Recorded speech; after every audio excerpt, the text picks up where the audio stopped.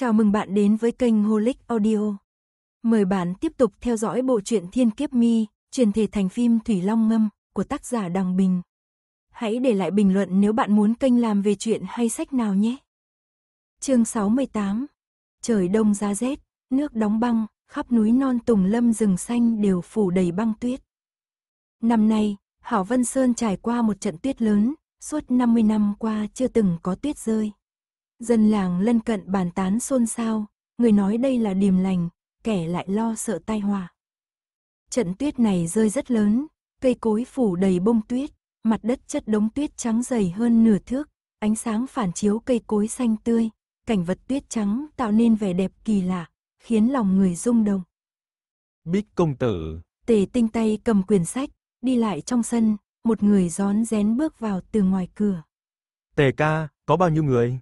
Tề tinh đóng sách lại, 685 người.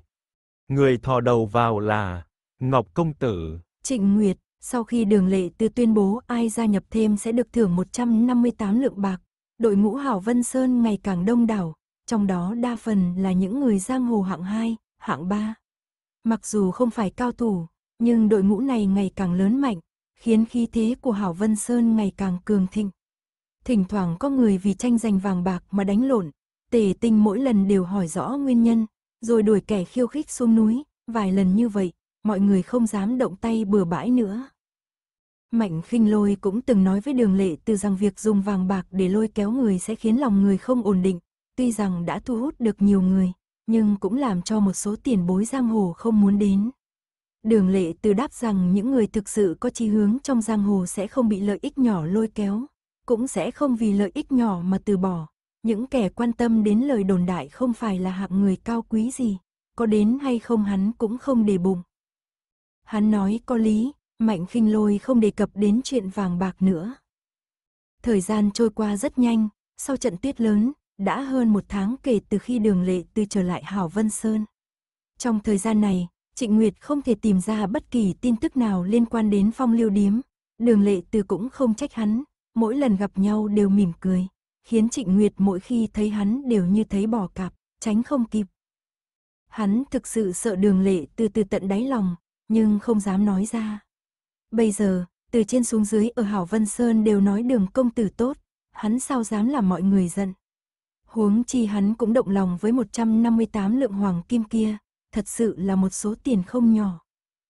Tây Phương Đào. Vẫn chưa lộ diện, đường lệ từ phái thành ôn bào cùng đồng hồ bút dẫn người chia nhau tìm, nhưng không tìm được bất kỳ tin tức gì liên quan đến Tây Phương Đào. Giang hồ đột nhiên trở nên yên tĩnh, thanh thế của Hảo Vân Sơn ngày càng lớn mạnh, phong lưu điếm ngừng công kích, tựa như mọi thứ đã trở lại bình yên như trước. Những ngày này đường lệ từ bận rộn nhiều việc, A Thùy gặp người liền tránh, rất ít nói chuyện với ai, nàng mặc quần áo đơn giản, không trang điểm, cũng không ai chú ý đến một nữ tỷ lặng lẽ không ai hay biết. Vì vậy, nàng sống ở Hảo Vân Sơn hơn một tháng như thể sống một mình trên thế gian này. Chỉ như vậy thôi. Cho nên tất cả những cô gái si mê đường lệ từ đều rất đáng thương. Hắn căn bản không có lòng giả yêu bất kỳ ai, dù chỉ đối với nàng là một người đòi lấy.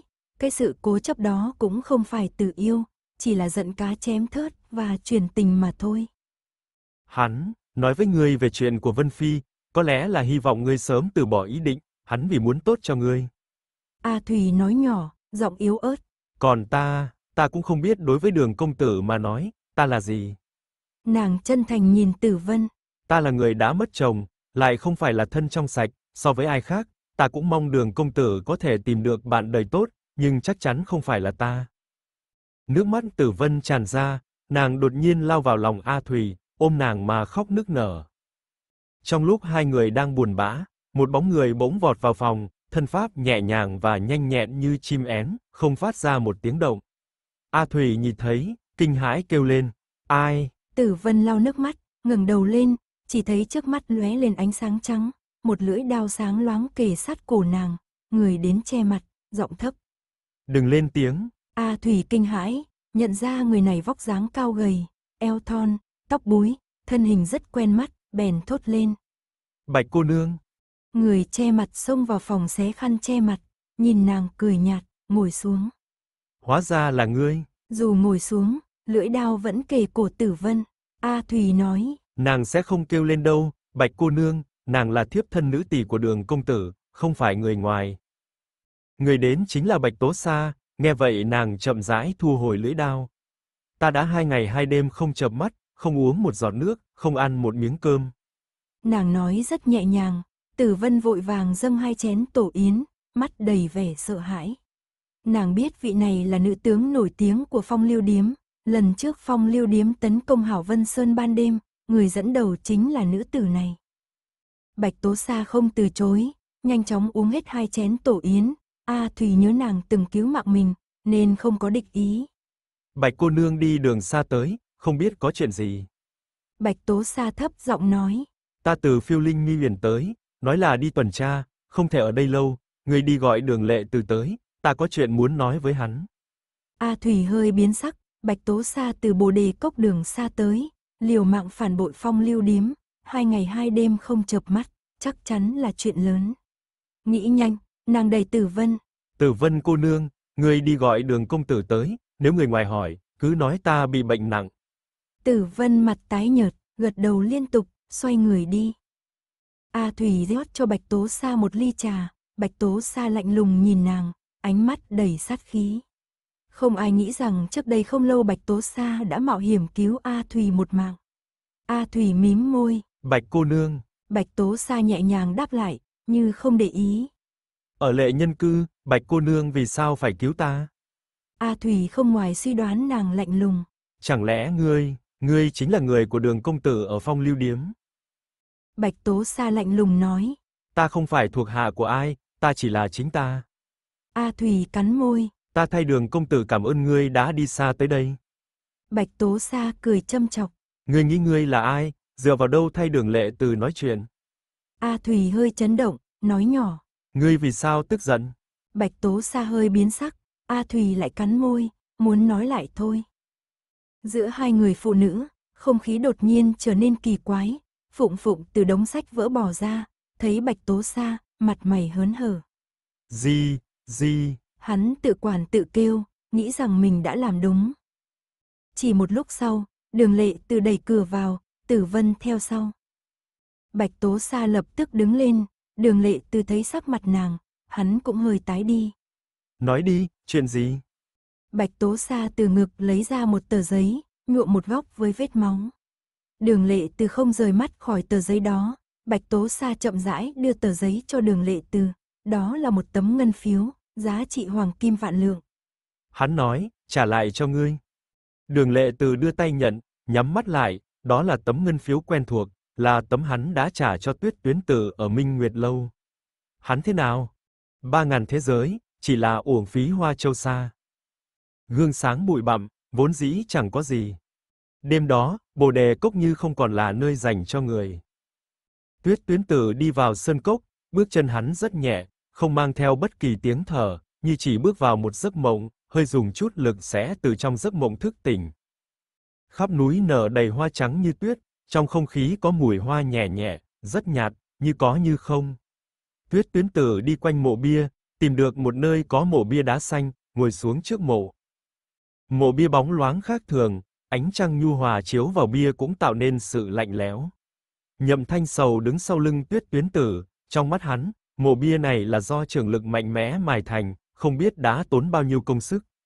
Trên bia đơn giản viết mấy chữ, mộ của thê tử Triệu Chân, nét chữ vụng về, là kiếm khí thành, lúc viết chữ, người xuất kiếm chắc hẳn tâm trạng vô cùng kích động, dẫn đến nét chữ siêu vẹo. Tuyết tuyến tử ngồi xuống trước mộ bia, lắc đầu, vì sao không có rượu? Nhậm thanh sầu chỉ chăm chú học tập kiếm pháp khi viết chữ đó. Ta không biết uống rượu. Tuyết tuyến tử nhìn mộ bia, thở dài, gió mắt trăng sáng, quan phu cô mộ phần, sanh ly tử biệt, đau đớn đoạn trường, cảnh đẹp như vậy làm người ta buồn bã, ngươi nhưng lại ở trước mặt ta học trộm kiếm pháp khắc trên mộ bia. Hắn nằm xuống đất, như thể muốn chết ngay lập tức. Nhậm thanh sầu tỉ mỉ học kiếm pháp khắc trên mộ bia, mới nói. Lão tiền bối, canh ba buông xuống, bây giờ nếu không động thủ, rất nhanh sẽ không còn cơ hội. Tuyết tuyến tử muốn học tiền nhân di phong, hát một chút trường ca khi khóc, nhưng không gặp chi âm, đành phải đứng dậy, nhìn khắp núi đầy cô chi nhược tuyết. Như vậy tốn thêm, ta muốn từ đâu đốt lên? Những thứ này không thể so với thuốc trong phòng ngươi, chỉ sợ không dễ đốt. Nhậm thanh sầu trầm ngâm nói. Vậy chỉ có thể từng cái quật đoạn rễ cây, dùng liệt dương trưởng lực thiêu hủy. Kia chia nhau làm việc đi. Tuyết tuyến tử ra tay nhanh như điện, bẻ gãy cô chi nhược tuyết quanh mộ triệu chân. Cây mây và dây leo rất bền bỉ, tuyết tuyến tử kéo mạnh, nhổ ra bảy tám chỗ rễ cây, mới kéo đứt. Nhậm thanh sầu nhổ một bụi cây mây và dây leo khác, cẩn thận tìm rễ chính, dùng kiếm nhọn đào lên, rồi dùng trường lực đốt thành cho. Đáng tiếc năm khác kỳ thượng nhẹ, Tô Vi không tới, chỉ đốt rễ cây thành một khối đen không trắng không đen, không thể thành cho. Nhậm thanh sầu mặt đỏ lên, tuyết tuyến tử cười to, nhặt rễ cây, năm ngón tay nắm chặt, đoàn u tối từ rễ cây toát ra khói nhẹ, ngay sau đó hóa thành cho. Nhậm thanh sầu xấu hổ nhưng không giận, lập tức đào cây hoa, tuyết tuyến tử ra tay đốt thành cho. Hai người cùng hợp tác, chỉ trong nửa giờ đã phá hủy hơn nửa thung lũng cô chi nhược tuyết. À, Từ phía bên kia của bồ đề cốc đột nhiên vang lên một tiếng thét chói tai. ai? Nhậm thanh sầu nhanh như điện, bắt người phát ra tiếng thét, nhưng đó chỉ là một cô bé chừng 16 tuổi. Cô bé nhìn hắn đầy hoảng sợ, Ngươi, ngươi, ngươi phản bội chủ tử. nhậm thanh sầu giơ tay lên, chuẩn bị đánh chết nàng, nhưng trường vừa vung xuống liền dừng lại. Trường hạ xuống, cô bé sắc mặt tái nhợt, ngất đi. Tuyết tuyến từ cười khẩy, Ta tưởng ngươi không chớp mắt khi giết người. Mau kiểm tra xem nàng có đồng bọn nào không. Nhậm thanh sầu gật đầu, rút ra cung nhỏ màu đen, đặt lên mũi tên huyền, bắt đầu lục soát trong thùng lũng. Tuyết tuyến tử nhấc cô bé lên, nhìn quanh một lượt, sau đó nhét nàng vào bụi cỏ dưới tảng cây. Nhậm thanh sầu lục soát một vòng, không thấy dấu vết của ai khác, rồi quay về. Tuyết tuyến tử tỏ ra kinh ngạc, vừa lúc đó là canh ba, cô bé này một mình ra ngoài, chẳng lẽ đặc biệt đến bãi tha ma luyện gan. Suy đi nghĩ lại, không tìm thấy lý do hợp lý, hai người quay lại công việc. Trên đỉnh đồi không xa, dưới ánh trăng, một người ngồi xếp bằng, sắc mặt xanh xao, quyền mang tử hồng, xương cốt cao lớn, chỉ còn lại một cánh tay, không ai khác chính là Chu Nhan. Hắn nhìn trăng, thổ nạp, dường như không phát hiện tuyết tuyến tử và nhậm thanh sầu, mắt nhắm chặt, toàn tâm toàn ý đắm chìm trong sự thay đổi liên tục của chân khí trong cơ thể. Vừa rồi nhậm thanh sầu bắt được cô bé, chính là để đưa thuốc cho hắn. Trong trận đánh tại vọng đình Sơn Trang với Ngọc Không Hầu và Quỷ Mẫu Đan, hắn đã sống sót. Chân khí trong cơ thể hắn lưu chuyển từng chút một, bốn phương tám hướng trở nên thông suốt, cảnh giới này bắt đầu từ từ khuếch trương ra ngoài, một trượng, hai trượng, ba trượng, mười trượng, mười lăm trượng. Khi hắn nghe được âm thanh trong phạm vi 20 trượng, đột nhiên có tiếng. Lao, từ ngoài 20 trượng truyền đến, hắn chấn động nhẹ, lập tức mở mắt. Cùng lúc đó, tuyết tuyến tử đang kéo cô chi nhược tuyết tại mộ bia, bỗng nhiên cảm giác được điều gì đó và quay đầu lại. Trong nháy mắt, hai người nhìn thẳng vào nhau, tiếng gió đột nhiên thay đổi, nhậm thanh sầu cũng quay đầu lại, chỉ thấy cuồng phong nổi lên, cát đá hoa rơi bay thẳng lên trời. Chu Nhan vung trường kích, một tiếng vang lớn, chân đồi bị lột một tầng, băng rơi đất đá đổ xuống, chặn hơn phân nửa cửa gỗ dưới chân đồi. ngươi là ai? Chu Nhan cầm kích, giọng nói thầm ách, uy nghi nhưng mang theo chút mờ mịt. Tuyết tuyến tử tập trung, đối mặt với đối thủ có thể một kích lột bỏ gần phân nửa đỉnh núi, hắn không dám khinh thường chút nào. Nhậm thanh sầu nhanh chóng tìm một tảng đá lớn để ẩn núp, dương cung lắp tên hướng về phía cửa bị che giấu một nửa. Tiếng vang lớn mà Chu Nhan tạo ra, nếu phong liêu điếm không phát hiện thì họ đúng là điếc. Ngươi là ai? Chu Nhan cầm kích, từng bước xuống từ sườn núi, giọng khàn khàn, mê mang nhưng vẫn đầy sát khí. Tuyết tuyến tử nhanh chóng hít một hơi, chậm rãi thở ra, sau đó cười với Chu Nhan. Ta là bạn tốt của ngươi. Chu Nhan đã vào thung lũng, từng bước tiến về phía hắn. Ta từ trước đến giờ chưa từng có bạn tốt. Vậy ngươi có gì? Tuyết tuyến tử cười hỏi. Chu Nhan dường như kinh ngạc bởi câu hỏi của hắn, trầm mặc không nói. Tuyết tuyến tử nhìn hắn không chớp mắt, dường như hắn lại bị tổn thương đầu óc, bởi Chu Nhan bình thường sẽ không nói nhiều như vậy, đã sớm ra tay giết người rồi. Nhìn hắn mê mang, tựa như quên mình là ai, vừa tựa như vẫn nhớ một ít. Chu Nhan trầm mặc một hồi, chậm rãi nói. Ta có võ công. Tuyết tuyến từ chắp tay. Ngươi rất đáng thương. Chu Nhan hỏi. Vì sao? Tuyết tuyến từ đáp. Bởi vì võ công không phải là tất cả, ngươi không có bạn, không có người thân, không có nhà, không có tiền, chẳng lẽ không phải rất đáng thương sao? Chu Nhan tay trái cầm trường kích, tiến về phía trước một chút. Ta có võ công, ta sẽ thắng bất kỳ ai, có thể giết bất kỳ ai, bao gồm ngươi. Tuyết tuyến tử thở dài, ngươi còn nhớ tiết đào không? Chu Nhan không đáp, dương trường kích, đâm thẳng vào ngực tuyết tuyến tử. Ngay lúc đó, cửa gỗ dưới sườn núi bỗng nhiên nổ tung, ba người lao ra. Nhậm thanh sầu dương cung bắn, ba mũi tên nhỏ màu đen nhanh chóng lao về phía ba người, nhưng tiếc là họ đều có phòng bị, hai mũi tên trúng người, một mũi tên bắn hụt. Người đến là Ngọc Không Hầu, Quỷ Mẫu Đan và Hồng Thiền Nương Tử. Khi Chu Nhan còn ngồi trên sườn núi, Bạch Tố Sa dẫn đầu, theo sau là vài người mặc áo trắng, cùng với đội ngũ 20 người hồng y dịch sử, tất cả đang nhìn về phía Nhậm Thanh Sầu. Trường kích của Chu Nhan nhanh như gió, đâm tới mà không để lại dấu vết. Tuyết tuyến tử thân hình biến ảo, khi trường kích đến gần thì mất tích, người ngoài chỉ thấy thoáng qua bóng hắn, hắn đã nằm dưới trường kích, bàn tay chạm vào mũi kích trước. Chu Nhan vặn cổ tay, cầm kích như côn, hét lớn một tiếng rồi nện xuống đầu tuyết tuyến tử, tuyết tuyến tử né tránh nhanh chóng, người ngoài chỉ thấy hắn né sang phải, nhưng đột ngột xuất hiện bên trái, tiếp tục đoạt kích. Ngọc không hầu nhìn cuộc chiến, mỉm cười nói, tuyết tuyến tử có thể luyện, thay hình đổi vị, đến mức này, quả là một kỳ tích, nhưng dù luyện đến đâu cũng không thể toàn thân trở lui dưới trường kích của Chu Nhan, hắn bước đi dọc theo lối, đã xem qua những kiếm sĩ bị nhậm thanh sầu bắn bị thương, nhưng hắn không vội vàng cũng không tức giận, nhìn Chu Nhan và Tuyết Tuyến Tử đấu, cuối cùng thấy rất thú vị.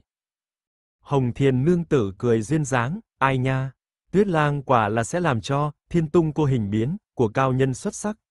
Nếu Chu Nhan bị thương đầu óc, có thể sẽ thua đấy, nói đến đây nàng cười khúc khích, nhớ đêm đó, ta thật muốn giết hắn.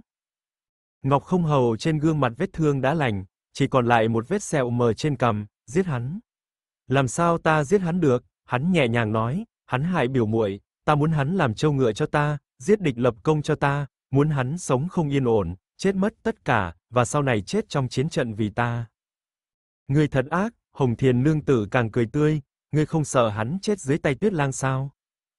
Ngọc không hầu nhìn chiến cuộc, mím môi cười yếu ớt, hắc, quỷ mẫu đan cười lạnh lùng, hắn một mình làm ta và thất đệ hao tổn một phần ba chân lực, ngươi nghĩ hắn có giết được tuyết tuyến tử không? Chu Nhan vặn cổ tay, cầm kích như côn, hét lớn một tiếng rồi nện xuống đầu tuyết tuyến tử, tuyết tuyến tử né tránh nhanh chóng, người ngoài chỉ thấy hắn né sang phải, nhưng đột ngột xuất hiện bên trái, tiếp tục đoạt kích. Ngọc không hầu nhìn cuộc chiến, mỉm cười nói, tuyết tuyến tử có thể luyện, thay hình đổi vị, đến mức này, quả là một kỳ tích, nhưng dù luyện đến đâu cũng không thể toàn thân trở lui dưới trường kích của Chu Nhan, hắn bước đi dọc theo lối, đã xem qua những kiếm sĩ bị nhậm thanh sầu bắn bị thương, nhưng hắn không vội vàng cũng không tức giận, nhìn Chu Nhan và Tuyết Tuyến tử đấu, cuối cùng thấy rất thú vị. Hồng thiên nương tử cười duyên dáng, ai nha, Tuyết Lang quả là sẽ làm cho thiên tung cô hình biến của cao nhân xuất sắc. Nếu Chu Nhan bị thương đầu óc, có thể sẽ thua đấy, nói đến đây nàng cười khúc khích, nhớ đêm đó, ta thật muốn giết hắn. Ngọc không hầu trên gương mặt vết thương đã lành, chỉ còn lại một vết sẹo mờ trên cằm, giết hắn. Làm sao ta giết hắn được? Hắn nhẹ nhàng nói, hắn hại biểu muội, ta muốn hắn làm trâu ngựa cho ta, giết địch lập công cho ta, muốn hắn sống không yên ổn, chết mất tất cả, và sau này chết trong chiến trận vì ta. Ngươi thật ác, Hồng Thiền nương tử càng cười tươi, ngươi không sợ hắn chết dưới tay tuyết lang sao? Ngọc không hầu nhìn chiến cuộc, mím môi cười yếu ớt, hắc, quỷ mẫu đan cười lạnh lùng, hắn một mình làm ta và thất đệ hao tổn một phần ba chân lực, ngươi nghĩ hắn có giết được tuyết tuyến tử không? Thất đệ đã đánh một trường lên đầu hắn, bị chúng, si mị thổ châu khí, đến giờ nội thương vẫn chưa khỏi, ngươi nghĩ hắn có giết được tuyết tuyến tử không? Bây giờ, chúng ta chỉ cần bắt con chuột nhỏ bên cạnh là được. Hồng Thiền Nương Tử cười nhẹ. Bắt hắn trước, sau đó trước mặt hắn mà hành hạ người hắn yêu thương bằng ngàn đao vạn kiếm. Quỷ mẫu đan cười lớn, Ngọc không hầu hôm nay mặc nam trang, phất tay áo, nhậm thanh sầu giao cho ngươi. Nhậm thanh sầu núp sau một tảng đá lớn, Hồng Thiền nương tử cười duyên dáng, vòng qua đá lớn bắt hắn. Nhậm thanh sầu rất bình tĩnh, chờ nàng đến gần mới bắn một mũi tên. Hồng Thiền nương tử phất tay áo đánh rơi mũi tên ngắn, nhậm thanh sầu nhanh chóng rút kiếm, đâm thẳng vào cổ họng nàng, nhưng Hồng Thiền nương tử dùng lụa đỏ quấn lấy trường kiếm của hắn, nội lực khắp nơi, khiến lưỡi kiếm vặn vẹo, phải đổi chiêu. Hồng Thiền nương tử cười nhẹ, tay trái đưa lên định phất vào mặt nhậm thanh sầu, nàng đã nhuộm đầy kịch độc vào tay áo, nếu chúng sẽ hủy dung. Nhậm thanh sầu gắng sức rút kiếm, Hồng Thiền nương tử cố ý vất tay áo chậm, muốn tạo vẻ hoảng sợ trên mặt hắn, bỗng, ba, một tiếng vang lên từ sau lưng, nàng hơi ngẩn ra, chưa kịp hiểu, bả vai đau nhói, hóa ra là mũi tên ngắn nhậm thanh sầu bắn ra trước đó đụng vào mộ bia rồi quay lại, bắn trúng vai nàng. Nàng bị thương ở vai, sức lực giảm, nhậm thanh sầu rút kiếm ra, mạo hiểm lùi nhanh, nép vào một tảng mộ bia khác. Vừa thấy mặt đã bị thương, tiếng xấu vang khắp giang hồ, nhưng nhậm thanh sầu không kiêu căng, chuyên tâm nép sau tảng mộ bia, không nói một lời. Ngọc không hầu bên trái nhìn tuyết tuyến tử chợt ẩn chợt hiện trước sau, đấu với Chu Nhan, bên phải nhìn nhậm thanh sầu đánh nhau với Hồng Thiền Nương Tử, thấy rất thú vị. Mặc dù hai người đó phá hủy nhiều cô chi nhược tuyết, nhưng những bông hoa bị phá hủy đó không uổng công. Chỉ cần hai người này có thể phá hủy được một căn dược phòng của ta thật đáng tiếc chỉ có vậy mà thôi. Quỷ mẫu đan nhìn cuộc chiến, hỏi, những bông hoa đó bị phá hủy, ngày sau ngươi định thế nào? Những loại thuốc khác ngươi giấu ở đâu? Ngọc không hầu cười quyến rũ, cái này, nói cho đại ca nghe cũng không lợi lộc gì. Quỷ mẫu đan cười nhạt. Chẳng lẽ ta lại cướp thuốc của ngươi? Ngọc không hầu mắt lóe sáng. Bí mật chỉ có một mình ta biết mới tốt. Hắn vỗ vai quỷ mẫu đan, chỉ về phía nhậm thanh sầu. Có người phản bội phong lưu điếm, ngươi không thể để hắn trốn thoát. Ta cá với ngươi, trong ba chiêu ngươi thu phục được hắn. Quỷ mẫu đan cười lạnh, lắc mình tiến lên, Hồng Thiền Nương Tử bị thương sau trở nên bực tức, hai người đánh mạnh, hướng nhậm thanh sầu lao tới. Tuyết tuyến tử thi triển thuật, thay hình đổi vị. Cùng Chu Nhan đấu, Chu Nhan dùng. Si mị thổ châu khí. Dần phát huy đến tinh tế, trường kích múa mang theo từng đám hắc khí, tuyết tuyến tử không dám chạm vào tà môn chân khí, chỉ tránh đông tránh tây. Hắn né tránh rất khéo léo, suốt một canh giờ Chu Nhan không làm gì được, nhưng dần dần thân pháp của tuyết tuyến tử chậm lại, trong lòng lo sợ, biết rằng tối nay sớm muộn cũng phải liều mạng. Nhậm thanh sầu bắn mũi tên ngắn, công lực của hắn chưa đủ để ngăn quỷ mẫu đan và hồng thiền nương tử, bắn xong hắn xoay người trốn. Hồng thiền nương tử đuổi theo, nhưng vai bị thương đau đớn, phải dừng lại, nàng phẫn nộ, ác niệm nổi lên, đi đến một ngôi mộ, dùng sức lay động bia mộ, rồi đẩy ngã bia đá xanh. Nhậm thanh sầu thất kinh, dừng bước, đó chính là mộ bia của Triệu Chân, vợ chưa cưới của Tuyết Tuyến Tử. Ngươi! Hồng Thiền nương tử rút mũi tên ngắn ra khỏi vai, máu từ vết thương chảy như suối, nàng giọng lạnh lùng nói. Ngươi bắn bà một mũi tên, bà sẽ đẩy thi thể Triệu Chân ra khỏi mộ, cho ngàn mũi tên đâm xuyên qua hắn. Hắc hắc hắc, ta muốn Tuyết Tuyến Tử hận ngươi cả đời. Ngay lập tức, hai tay nàng phát ra nội tình kịch độc, bìa mộ đá xanh của Triệu Chân bốc lên một tầng khói đen, đá vụn rơi lả tả. Nhậm Thanh Sầu thấy nàng phá mộ, liền xoay người đi vòng vèo, quỷ mẫu đan ngăn hắn lại, cười lạnh lùng, một trường đánh tới đầu hắn. Nhậm Thanh Sầu vung trường kiếm, vốn xưa nay trầm tĩnh, nhưng mộ Triệu Chân bị phá làm hắn hơi rối loạn, quỷ mẫu đan võ công vượt trội, nhất thời làm hắn luống cuống, liên tục gặp nguy hiểm.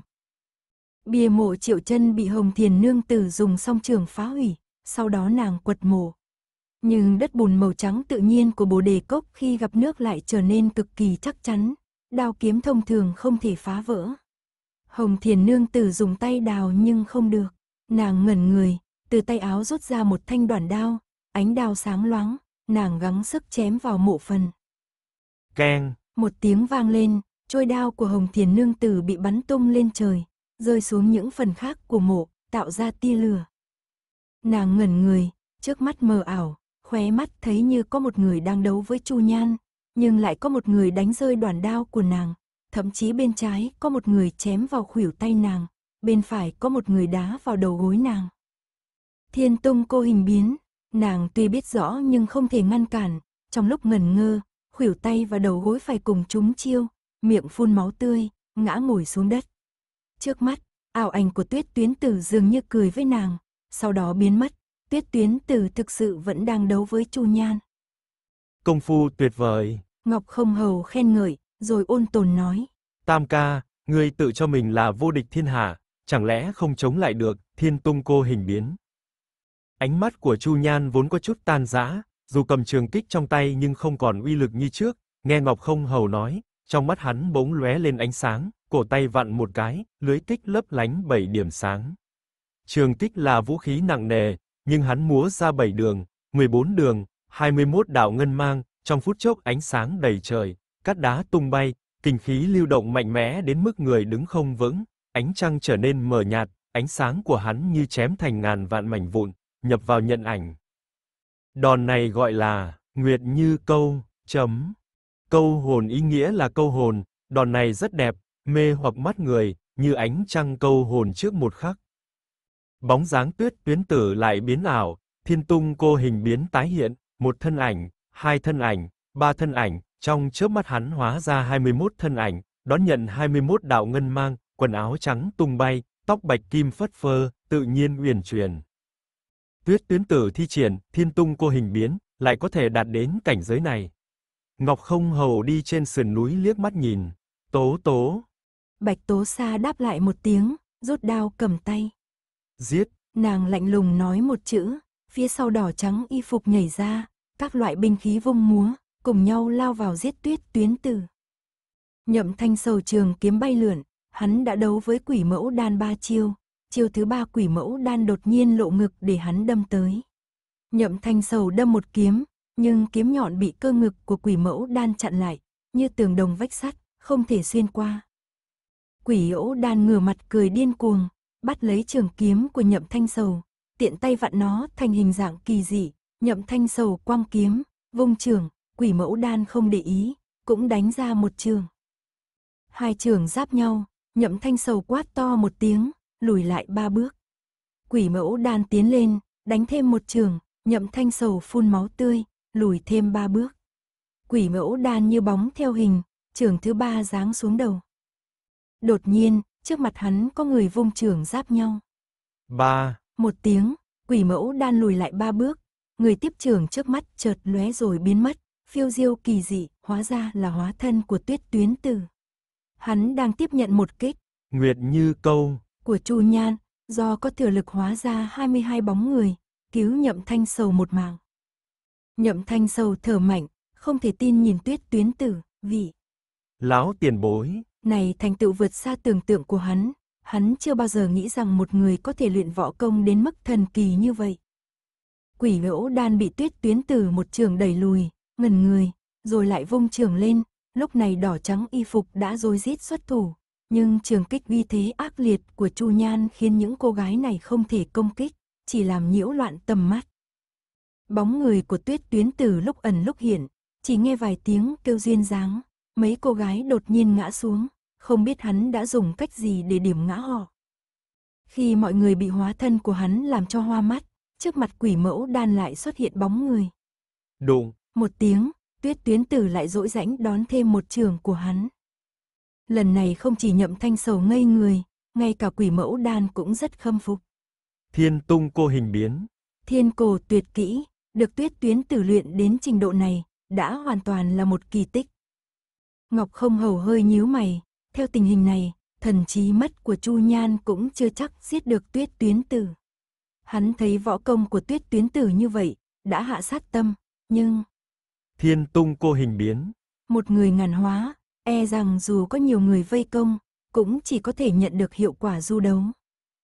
Tuyết tuyến tử như vậy đông phiêu, tây thoáng, trước một cước sau một trường, không đánh toàn lực chết sống với ai, mặc dù hắn không thắng được, nhưng cũng không thua, phải chờ đến khi hắn kiệt sức, thời gian kéo dài, chuyện chỉ sợ sẽ biến đổi.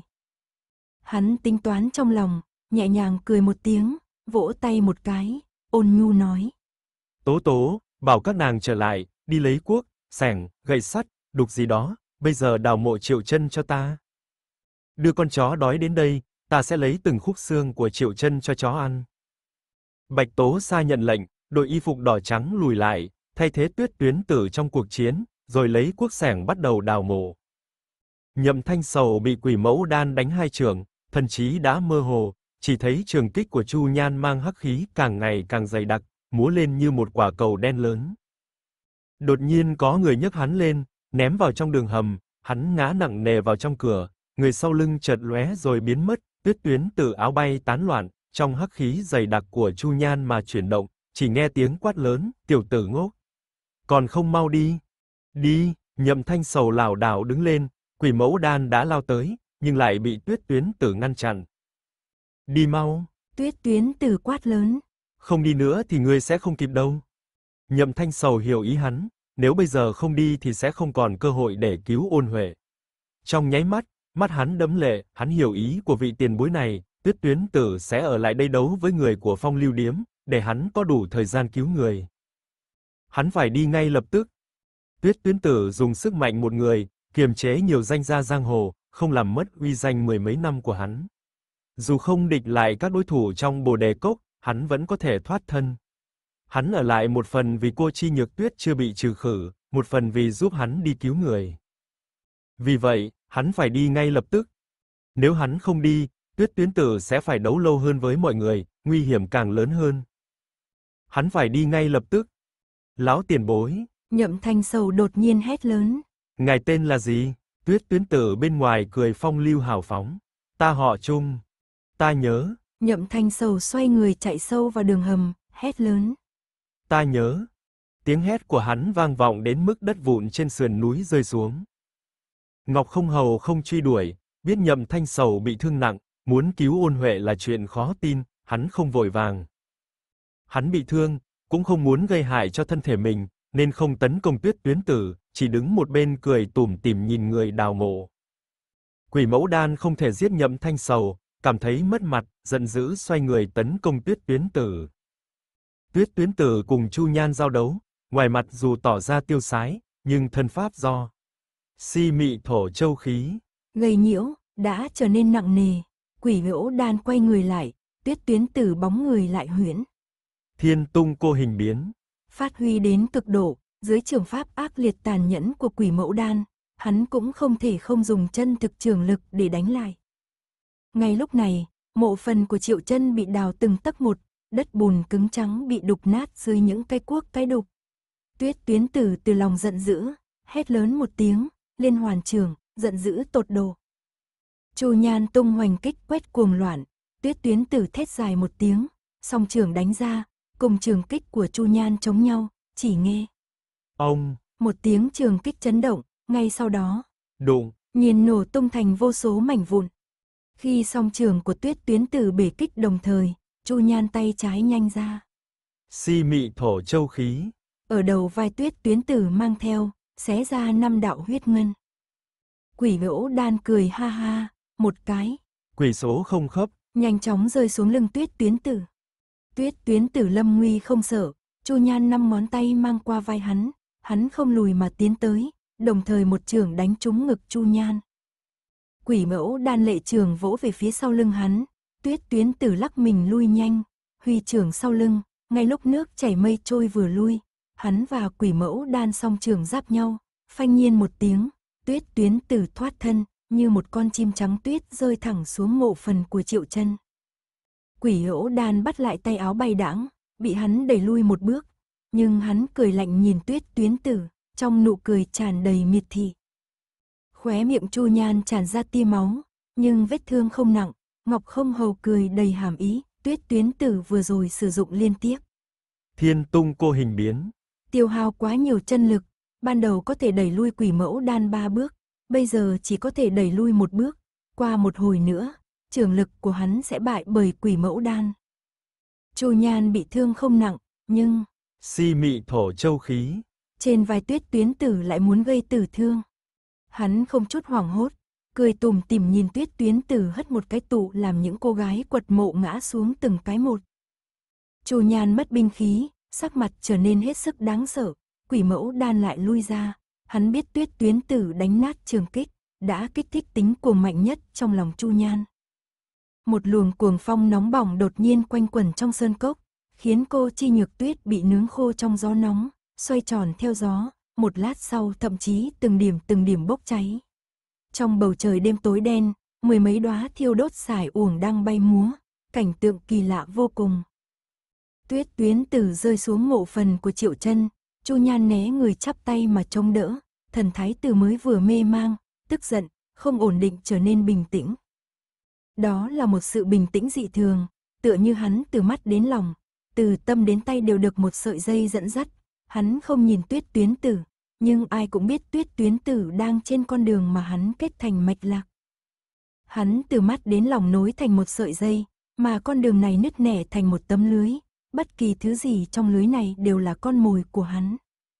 Hắn giống như một con nhện to lớn, còn tuyết tuyến tử chính là con mồi trắng trong lưới của hắn. Trong gió, những đám sải uổng đang cháy, từng mảnh cánh hoa lửa bay xuống. Tuyết tuyến tử đứng trên mộ phần, nằm đạo vết thương trên vai không ngừng chảy máu, chỗ đau nám đen. Si mị thổ châu khí. Đang ăn mòn chân khí của hắn, trên mặt hắn không có nụ cười, so với bình thường lộ ra vẻ tuấn tú cao ngất. Hồng Thiền nương tử lảo đảo lùi lại, mặc dù trong lòng đầy oán hận, nhưng khi thấy phong thái của tuyết tuyến tử, nàng vẫn cảm thấy tim đập thình thịch, thầm nghĩ nếu kẻ thù này bị bắt, nàng nhất định phải tận tay xử lý hắn. Xài uổng đốt sạch, cho bụi bay đầy trời. Chu Nhan từ sau lưng phát ra một luồng chân khí, cuốn lên đầy trời cho bụi, khiến cho bụi như có hình dạng, dần dần tạo thành một thế trận kỳ lạ. Tuyết tuyến từ cau mày, hắn đã tung hoành giang hồ mấy chục năm, nhưng chưa từng thấy qua tình trạng kỳ dị như vậy. Quỷ ngẫu đan cười ha ha một tiếng. Tam đệ có thể luyện si mị thổ châu khí, đến mức độ này, chẳng lẽ hắn thực sự giống như cao nhân đã sáng chế ra loại tà công này, dị bẩm thiên phú, không bị si mị thổ châu khí tổn thương. Ngọc không hầu cười một tiếng. Chiêu này gọi là vũ hóa, ta đã từng gặp một lần. Quỷ ngẫu đan âm u hỏi. À, ngươi đã gặp một lần. Hiệu quả ra sao? Hiệu quả, chính là nhị ca chết. Ngọc không hầu lại cười nói. Bị đốt thành một bộ xương khô đen đỏ. Quỷ ổ đan nghe vậy cười điên dại, nhưng Chu Nhan và Tuyết Tuyến Tử vẫn rất tĩnh lặng, không nói một lời. Những nữ tử quật mộ dừng tay, cho bụi không ngừng bay tán loạn, từng tia từng chốt mang theo chân khí nóng bỏng, rơi vào da thịt đều gây tổn thương. Tuyết Tuyến Tử dính một ít cho bụi trên vai Bạch Phát, tóc hơi xoắn lại, nhưng quần áo trắng trên người hắn vẫn chỉnh tề, ngay cả chữ thêu trên áo vẫn tươi đẹp trong sáng. Cho bụi dần dần tan đi, đôi cánh sau lưng Chu Nhan dần dần biến mất, những người mặc y phục đỏ trắng từng bước lùi lại phía sau, nhưng luồng khí nóng vẫn không mất đi. Tuyết tuyến tử đứng giữa đó, không ai biết cảm nhận của hắn thế nào, chỉ thấy một góc ống tay áo hắn bốc lên khói nhẹ, có dấu hiệu bốc cháy. Tam ca lần này rất nghiêm túc, xem ra muốn quyết định sống chết bằng một chiêu. Ngọc không hầu dịu dàng nói. Muốn đánh cược không? Đánh cược gì? Quỷ hữu đan cười lạnh, Ngọc không hầu rút từ ngực ra một tấm ngân phiếu, lại cười nói. Đây là tấm ngân phiếu trị giá vạn lượng hoàng kim của tuyết tuyến tử, ta cược rằng tam ca không thể giết được tuyết tuyến tử bằng một chiêu. Quỷ mẫu đan cười nhạt. Ngươi đánh giá tuyết tuyến tử quá cao rồi. Ngọc không hầu nói. Vậy ngươi cược rằng tuyết tuyến tử sẽ chết dưới một chiêu này. Quỷ hữu đan gật đầu, Ngọc không hầu cười nói. Cược không? Quỷ hữu đan lạnh lùng nói. Cược. Ngay lúc này, toàn thân Chu Nhan đã vận chân lực đến cực điểm, cánh tay trái khẽ nâng lên, hắn hướng về phía tuyết tuyến tử dương năm ngón tay. Đột nhiên cát trắng trên đất bốc lên, không biết hắn dùng bao nhiêu lực, phần mộ triệu chân khẽ chấn động, các viên đá vụn rung rinh, từng khối từng khối rơi vào lỗ hổng của mộ phần. Tuyết tuyến tử hợp trường đẩy ngang, không thấy khí thế kinh thiên động địa, chỉ thấy trường lực đẩy ra, đất cát nhất thời dừng lại. Phần mộ triệu chân theo một trường của hắn ổn định lại, đất dần dần phân chia rõ ràng thành hai khu vực, gần tuyết tuyến tử thì bình tĩnh, gần chu nhan thì cát đá rung rinh, không ngừng bốc lên khói nhẹ. Hai người cách nhau năm thước, dùng trường lực để đấu. Trong cuộc rằng co này, chu nhan không nghi ngờ gì chiếm thế thượng phong, vai của tuyết tuyến tử không ngừng chảy máu, sau một lúc rằng co, vết thương máu đã nhuộm đỏ nửa bộ quần áo trắng. Hồng Thiền Nương Tử nhìn thấy, trong lòng có ba phần đau lòng, bảy phần vui mừng trên nỗi đau của người khác. Ngọc không hầu thấp giọng nói, chờ tam ca năm ngón tay hợp lại, sinh tử sẽ được phân định. Hắn còn chưa nói xong, Chu Nhan đã nắm chặt năm ngón tay, một tiếng nổ vang, chỉ thấy cát đá tung bay, khói mù đầy trời, mộ phần của Triệu Chân đột nhiên nổ tung, Tuyết Tuyến Tử bay lên cao, lao xuống, nhưng chiêu này của Chu Nhan không nhằm vào tuyết tuyến tử, mà là nhằm vào mộ của Triệu Chân.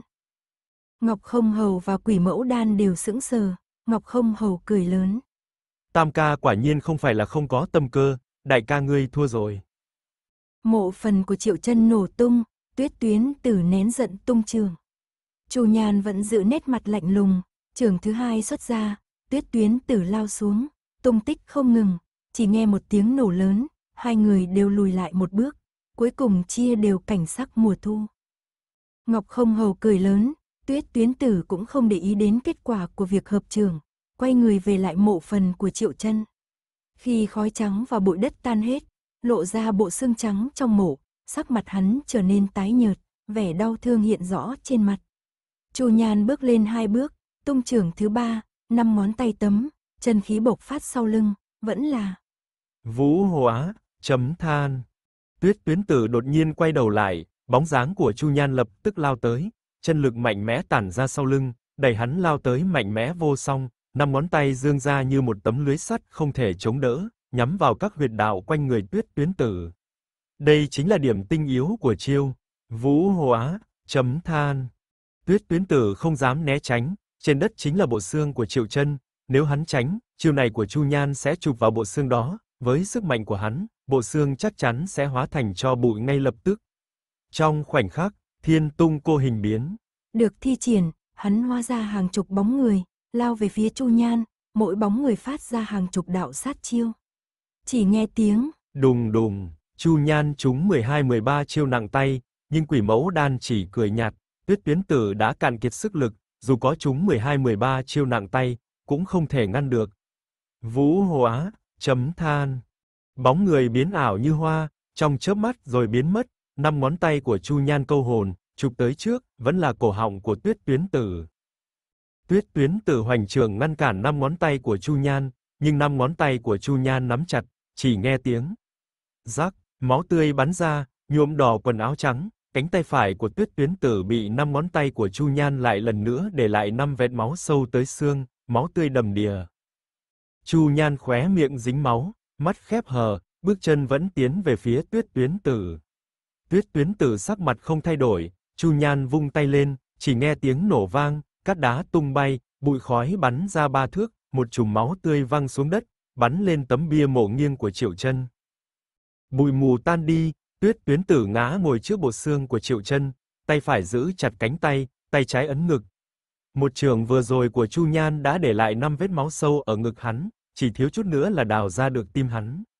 Máu tươi từ vai, cánh tay và ngực phun ra như suối, trong chốc lát, Tuyết Tuyến Tử đã trở thành một người đầy máu, nhưng hắn vẫn cười, khuôn mặt anh tuấn vẫn như ngọc. Thêm một trường nữa, ngươi sẽ không chịu nổi đâu. Chu Nhan trong tay nắm một mảnh vải, nghe vậy liền lau máu, trầm giọng nói. Thêm một trường nữa, ta có thể giết ngươi. Ngươi không giết được ta. Tuyết tuyến từ cười rất vui vẻ. Ngươi và ta đều vận công quá độ, si mị thổ châu khí, tuy là một môn thần công, nhưng cũng không phải là vô địch khắp thiên hạ. Chu Nhan lạnh lùng nhìn hắn, trong mắt tràn đầy sát khí và hung ác, từng tấc từng tấc nhấc bàn tay lên, chân khí lại lần nữa vận hành, sắc mặt dần dần biến thành màu đen. Lúc này, Ngọc không hầu mở miệng, tam ca, dừng tay. Chu Nhan bịt tai không nghe, khi thế kinh người tập trung vào tuyết tuyến tử, thân hình lao tới, hắn hoàn toàn tung trưởng ra. Một tiếng, bát, huyết vũ đầy trời, rơi xuống tuyết tuyến tử và bộ xương, nhuộm đỏ bộ y phục của hắn, nhuộm đỏ cả bộ xương thành xương máu. Tay áo rách nát, tuyết tuyến tử ôm bộ xương, ngồi xếp bằng, vết thương trên người không rõ từ đâu, máu tươi không biết đã chảy hết hay chưa, hắn ôm chặt bộ xương, không buông tay, mặc dù thân mình thương tích đầy mình, nhưng hài cốt của Triệu Chân vẫn nguyên vẹn. Chu Nhan lùi lại ba thước, lạnh lùng nhìn Tuyết Tuyến Tử, Tuyết Tuyến Tử cúi đầu nhắm mắt, không để ý đến hắn. Quỷ Ố Đan đang muốn cười to, đột nhiên một tiếng. Phanh, Chu Nhan ngửa người ngã xuống, miệng phun máu tươi. Mọi người đều ngẩn ngơ, Ngọc không hầu cho người áo trắng bên cạnh đem Chu Nhan đi chữa thương, hắn chậm rãi đi tới bên cạnh Tuyết Tuyến Tử. Lão tiền bối không hổ là lão tiền bối, 13 trưởng của ngài đã làm gì trên người hắn? Tuyết Tuyến Tử bịt tai không nghe, chỉ ôm chặt bộ xương của Triệu Chân. Ngọc không hầu cúi người tới, điểm mấy huyệt đạo sau lưng hắn để cầm máu, nhẹ nhàng nói. Ngươi đừng nghĩ ta sẽ để ngươi chết như ý muốn, ngươi đốt độc hoa, ngươi để chạy nhậm thanh sầu, ngươi chiến đấu đến kiệt sức, ngươi làm thương tổn Chu Nhan, ngươi ôm hài cốt của Triệu Chân, ta sẽ để ngươi chết sao? Chết như vậy, không khỏi quá anh hùng, quá như ý. Hắn chặn mấy huyết mạch trên người Tuyết Tuyến Tử, ngăn ngừa hắn mất máu mà chết, từng chữ từng câu nói. Ta vẫn sẽ đem hài cốt của Triệu Chân cho cho ăn, nhưng ta sẽ cứu ngươi, cho ngươi uống độc dược, biến ngươi thành người thuốc, sau này vì ta mà đánh thiên hạ. Ngươi có võ công cao cường, uy chấn thiên hạ, chết lúc này, hẳn là rất đáng tiếc đúng không? Tuyết tuyến tử bỗng dưng mở mắt. Ngươi, Ngọc không hầu đẩy ngón tay của hắn ra, từ từ lấy hải cốt của triệu chân ra khỏi tay hắn, mặt lộ ra nụ cười ôn nhu, quyến rũ. Ta không bao giờ hoàn thành ý muốn của ai. Tuyết tuyến tử tức giận, máu huyết dâng trào. Wow! Một tiếng khạc ra một ngụm máu tươi. Ngọc không hầu khẽ mỉm cười. Tố tố, dẫn tuyết tuyến tử đi, trông coi nghiêm ngặt. Bạch tố xa tiến lên nhận lệnh, sau đó thản nhiên nói. Dư khớp phượng không làm tròn bổn phận trông coi, chủ nhân không phạt sao? Ngọc không hầu nhẹ nhàng nói. Ta sẽ tự xử ấy, tố tố, người nói nhiều rồi. Bạch tố xa im lặng, ôm tuyết tuyến tử từ dưới đất lên, lùi qua một bên. Ngọc không hầu nhìn quanh mọi người, thấy đầy đất máu tươi, bộ xương im lặng, cũng không ai nói gì, chỉ mình hắn cười, cười phong tư thản nhiên, đẹp đến nghiêng nước nghiêng thành. Đường lệ từ nghe Bạch Tố Sa từ từ giải thích về trận huyết chiến đêm đó, càng nghe mặt càng tái nhợt. Ngươi làm sao lấy được tấm ngân phiếu đó? Bạch Tố Sa nói, Ngọc Không Hầu đã lấy hài cốt của Triệu Chân từ tay hắn, và hắn đã trộm lại từ Ngọc Không Hầu. Nàng cắn môi, khi đó hắn không thể ngăn Ngọc Không Hầu làm gì hắn, chỉ có thể lấy lại tấm ngân phiếu. Ta đưa hắn vào tù, mời đại phu chữa trị cho hắn, nhưng Ngọc Không Hầu sẽ không để hắn tỉnh táo lâu, sẽ nhanh chóng bỏ thuốc hắn, chờ thương tích hắn lành lại sẽ dùng hắn như dược nhân. Hắn hiểu rất rõ điều đó, nên hắn nói. Nàng lấy hơi, hắn nói tấm ngân phiếu còn lại ngươi. Hắn không bảo ngươi cầu cứu ta sao? Đường lệ từ hỏi. Bạch Tố Sa im lặng một lúc, rồi thấp giọng nói. Ta rất muốn nói có, nhưng hắn không, hắn chỉ nói còn ngươi. Nàng chậm rãi nói, với khả năng của hắn, hắn đủ để rời khỏi phiêu linh mi huyền an toàn, nhưng hắn... Hắn vì hài cốt của triệu chân. Nàng lại cắn môi, một mình mạo hiểm, rơi vào tay địch, đó là lỗi của hắn. Đường lệ từ gõ ngón tay lên chán. Nhậm thanh sầu à, nhậm thanh sầu cũng bị bắt sao? Bạch tố xa thấp giọng nói. Hắn phá vỡ ngục sắt, đưa ôn huệ đi. Ta cũng thấy kỳ lạ, hắn rõ ràng bị trọng thương, nhưng vẫn có khả năng như vậy. Đường lệ từ không đáp, đi vài bước trong phòng. Loại hoa độc để chế tinh quỷ cửu tâm hoàn đã bị hủy, nhưng nhiều viên thuốc vẫn còn giấu đâu đó, nên phòng lưu điếm cũng không vội.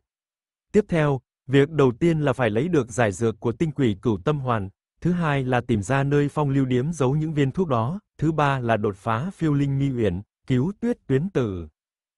Bạch Tố Sa gật đầu, đứng dậy, xoay người. Ta phải đi. Bạch cô nương. Giọng đường lệ từ nghe rất mờ ảo, không khí lực. Để tuyết tuyến tử bảo vệ liễu nhãn, liên lụy hắn đến đây, ta thật xin lỗi. Bạch Tố Sa và A Thủy đều hơi chấn động, rất ít khi nghe đường lệ từ nói chuyện mềm mỏng như vậy, Bạch Tố Sa thấp giọng nói. Không phải lỗi của ngươi, ngươi biết hắn có thể thoát, và hắn cũng có thể thoát thật, chỉ là hắn quá. Nàng ngừng lại, ta không giúp được hắn nhiều. Ta sẽ cứu hắn. Đường lệ từ bình tĩnh nói. Bạch Tố Sa cười lạnh. Ta biết, chỉ mong ngươi, không cứu hắn như đã cứu Chỉ Vân. A Thủy dịp mình, nàng biết chuyện Chỉ Vân thật sự đã làm tổn thương đường lệ từ quá sâu, Bạch Tố Sa cười chế giễu, với tính cách cực đoan của đường lệ từ, nhất định sẽ lại bị kích thích. Nhưng ngoài mặt không biểu lộ, đường lệ từ chỉ cười. Ta cũng hy vọng không biết. Bạch Tố Sa ngực phập phồng. Ta đi. Nàng quay đầu, đi được 4 năm bước, đột nhiên hỏi. Ngươi có gì không đúng sao? Đường lệ từ khẽ mỉm cười. Không đúng chỗ nào? Bạch Tố Sa lạnh lùng nói. Hôm nay ngươi nói câu nào cũng không giống ngươi. Nàng không nghe câu trả lời của đường lệ từ, đeo lên chiếc khăn che mặt, nhẹ nhàng bay như chim, rời đi. A Thùy và ỷ Vân nhìn đường lệ từ, thần sắc hắn rất mệt mỏi, hắn ngồi xuống ghế bên cạnh A Thùy, nhắm mắt lại. Đường công tử. A Thùy tiếp giọng hỏi. Ngài khó chịu sao? Sắc mặt tử vân càng lo lắng, nàng hơi run rẩy. Đường lệ từ lướt mắt nhìn quanh phòng từ A Thùy, thấy trên giá sách có một bình ngọc trắng mỹ nhân, dùng ngón tay chỉ vào bình ngọc đó. Tử vân vội vàng lấy tới cho hắn, đường lệ từ đổ ra một viên thuốc, không cần nước, nuốt luôn vào. Đây là, thuốc gì? Tử vân không nhịn được hỏi, nàng đã hầu hạ đường lệ từ một thời gian, hắn bị không ít thương tích, nhưng gần như chưa bao giờ uống thuốc. Đường lệ từ không trả lời, A Thùy lặng lẽ ngồi, một lát sau, nàng hỏi. Ngài định làm thế nào? Chán đường lệ từ toát mồ hôi lạnh, định, ta phải xuất binh bồ đề cốc, tiêu diệt phiêu linh nghi uyển. A Thùy toàn thân chấn động, cắn môi dưới. Nhưng, Ngọc không hầu có thể bất cứ lúc nào giả trang thành cô nương, giải dược của tinh quỷ cửu tâm hoàn vẫn chưa lấy được, lúc này vây công phiêu linh nghi uyển, liệu có phải thời cơ không? Đường lệ từ cười, ta đùa thôi, ngươi cần gì phải nghiêm túc vậy? Hắn nhìn có vẻ rất mệt mỏi, dùng ngón tay nhẹ nhàng xoa mi tâm. Ta không quan tâm khi nào Ngọc không hầu trở lại Hào Vân Sơn, chỉ cần giải dược tinh quỷ cửu tâm hoàn xuất hiện, ta sẽ xuất binh bổ đề cốc. Nhưng, chỉ sợ tuyết tuyến tử tiền bối, không chờ nổi. Giọng A Thùy run rẩy. Chờ đến khi ngài xuất binh, hắn sợ rằng đã bị Ngọc không hầu luyện thành dược nhân, chẳng lẽ ngài thật nhẫn tâm? Nhẫn tâm ngồi đây nhìn hắn trở thành lợi khí giết người của Ngọc không hầu. Ngón tay đường lệ từ nhẹ nhàng xoa mi tâm. Phiêu linh mi uyển là trọng địa của phong lưu điếm, tự tiện xông vào đó gần như tự tìm cái chết, ta sẽ không để người đi cứu. Hiện tại hắn sẽ không chết, ta phải cứu hắn, chỉ có thể mong có người có thể giải độc nhân. Nếu có ai có thể giải độc nhân, không chỉ cứu được tuyết tuyến tử, mà còn cứu tỉnh được Chu Nhan, khi Chu Nhan tỉnh lại, Ngọc Không Hầu sẽ có thêm một đại địch nhức đầu. A Thùy khẽ thở phào nhẹ nhõm, như thấy được hy vọng, nhưng hy vọng này lại rất mờ mịt. Có ai có thể giải độc nhân? Nếu Liễu Nhãn tham gia chế tạo loại thuốc của dẫn huyền nhiếp mệnh thuật, có lẽ hắn có thể giải. Ngoài ra, Minh Nguyệt Kim Y, Thủy Đa Bà, Thái Y Kỳ Dương, vợ của Kỳ Dương là thần y, thậm chí Bích Lạc Cung văn nhân hách văn nhân tiền bối, chỉ cần có một tia hy vọng, ta sẽ cố gắng hết sức. Đường lệ từ cười nhạt, giang hồ rộng lớn, luôn có người làm được những chuyện người khác không làm được.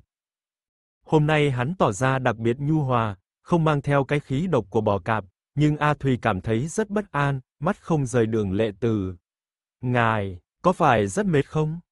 Đường lệ từ nhắm mắt lại, ta đã hai ngày hai đêm không chợp mắt, Hảo Vân Sơn mới tới nhiều hảo thủ, ta muốn gặp hết. Có vài người giang hồ khí quá nặng, tranh chấp không ngừng, phải chỉnh đốn lại cho họ có thể dùng được, cần thêm thời gian. Tử Vân ùm một tiếng quỳ xuống. Công tử, đệ tử Vân theo hầu hạ ngài. Bưng trà dâng nước, ân cần hỏi han cũng có người, tỷ tử, tỷ tử thực sự không yên tâm. Đường lệ từ không mở mắt, thản nhiên nói, ta rất mệt, thấy ngươi trong lòng càng chán ghét.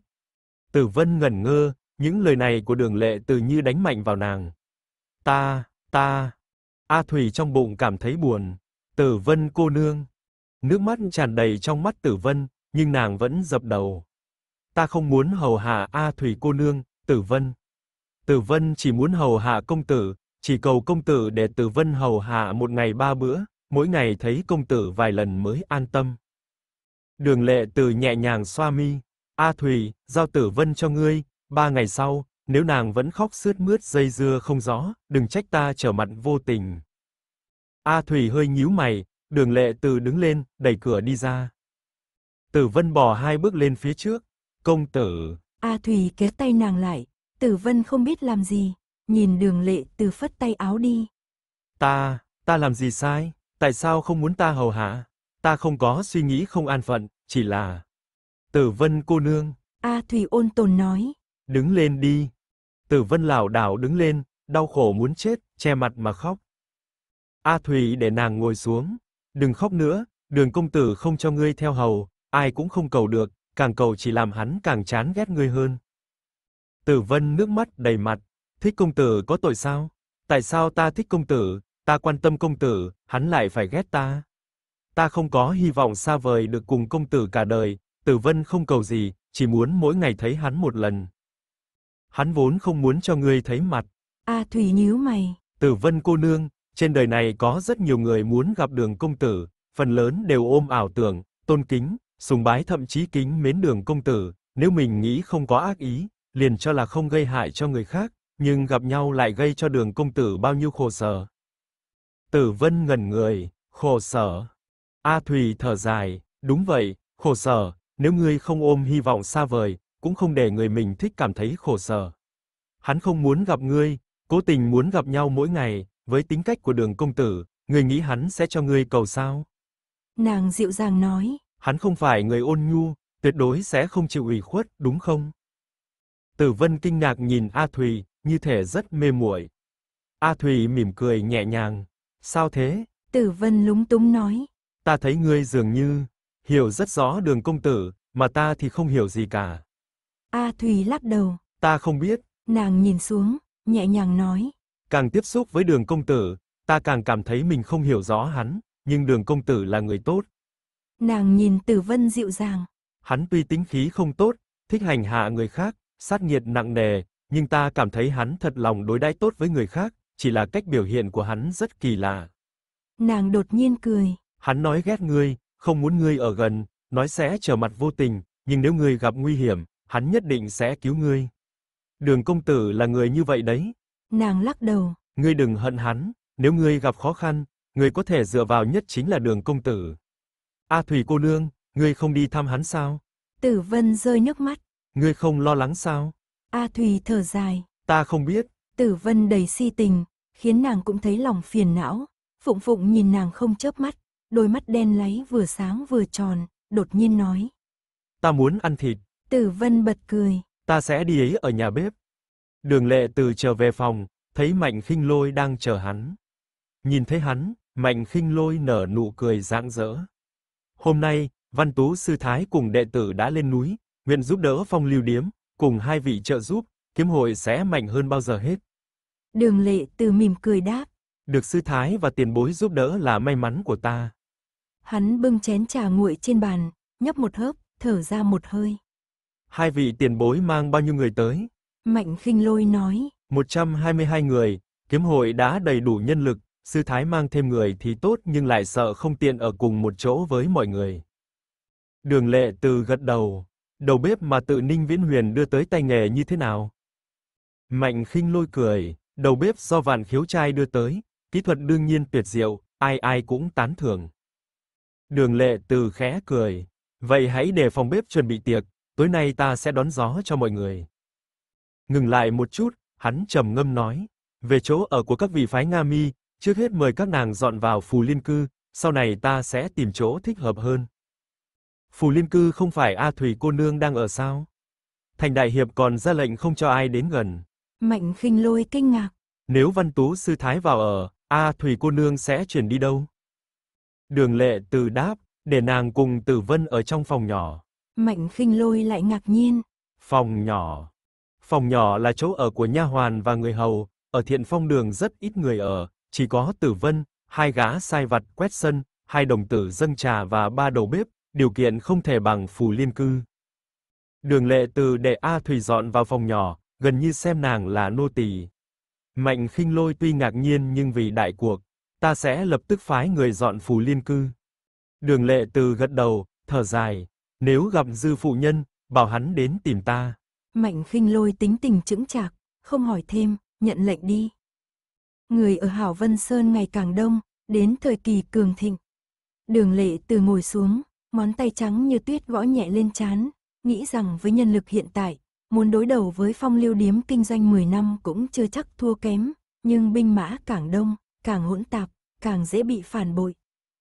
Cuối cùng có bao nhiêu người ăn tinh quỷ cửu tâm hoàn? Ngọc Không Hầu trong thời kỳ Trung Nguyên Kiếm Hội đã thu phục bao nhiêu người? Có bao nhiêu tâm phúc? Tất cả đều không rõ. Nếu quyết định chiến đấu, thì nhất định phải thắng. Nếu không có giải dược tinh quỷ cửu tâm hoàn, dù Trung Nguyên Kiếm Hội có đông đội ngũ đến đâu, cũng đều vô ích. Hắn ngồi lâu, bưng trà nguội uống một hớp, cửa. Dầm. Một tiếng mở ra, dư phụ nhân bước vào. Lệ tử. Sau trận trà hoa lao, dư phụ nhân vốn gọi hắn là Đường công tử, sau đó đổi thành đường lệ tử, bây giờ dứt khoát gọi thẳng tên. Gà hợp cốc truyền tin tới, giải dược, có lẽ đã có manh mối.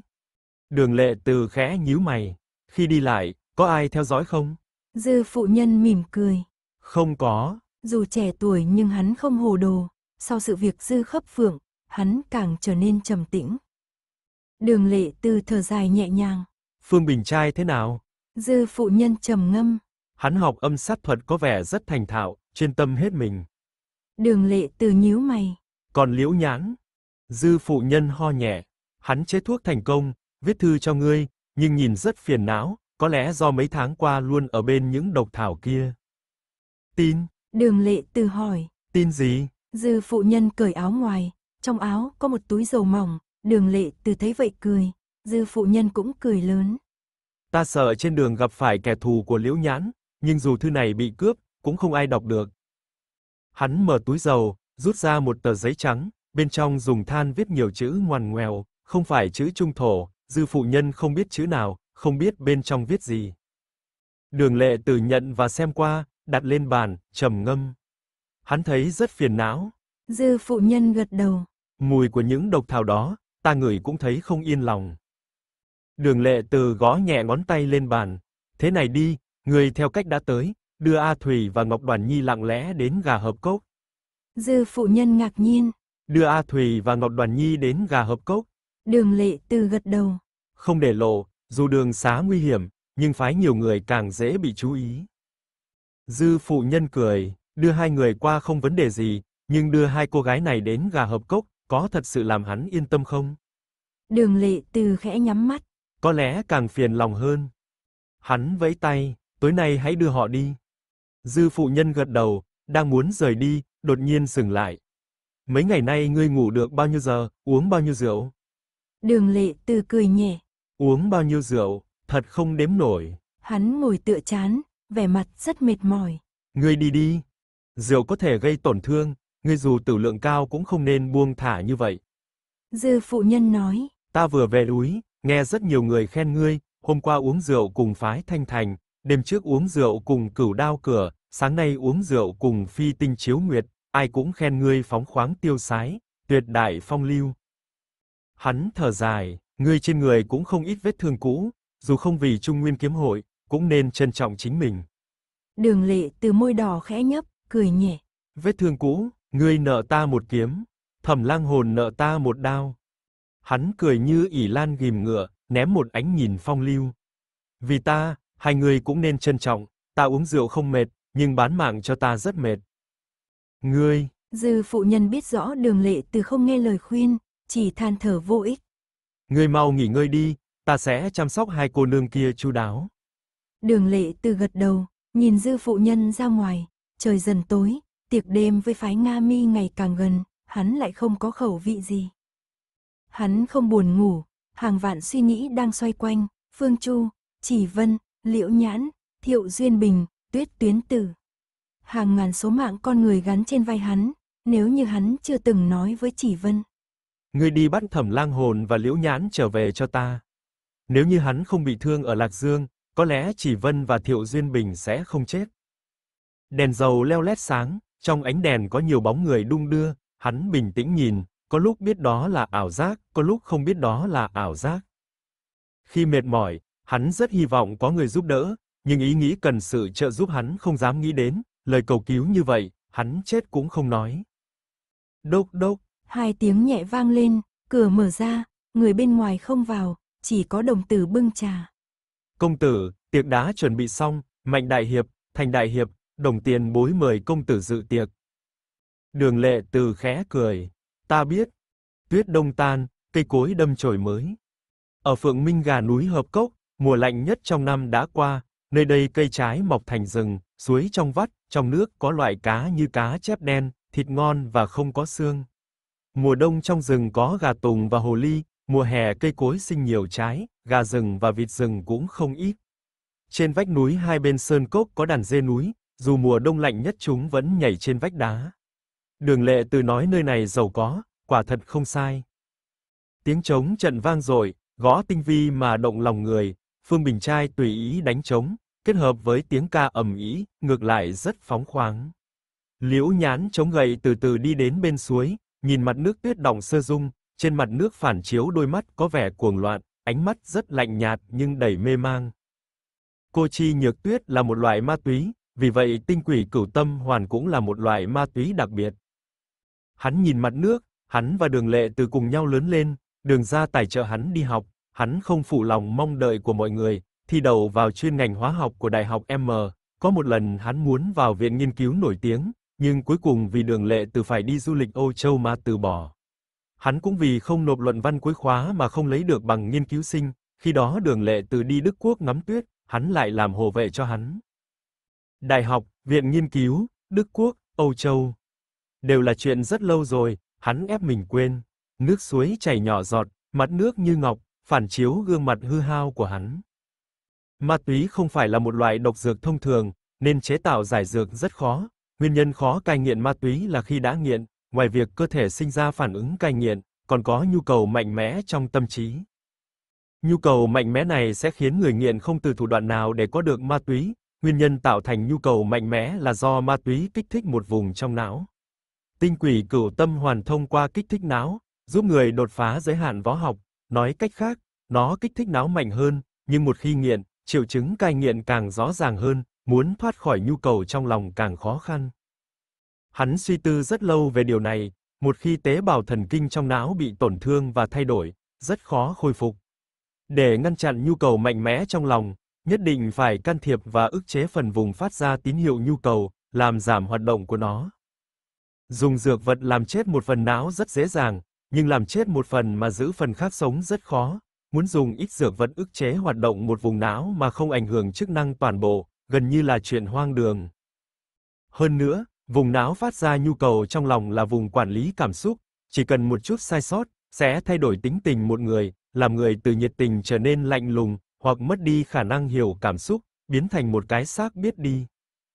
Nói một bước lùi, dù ức chế hoạt động của vùng này, khi nhu cầu trong lòng qua đi, não vẫn sẽ lệ thuộc vào thuốc ức chế, một khi cai thuốc, có thể dẫn đến cáu kỉnh.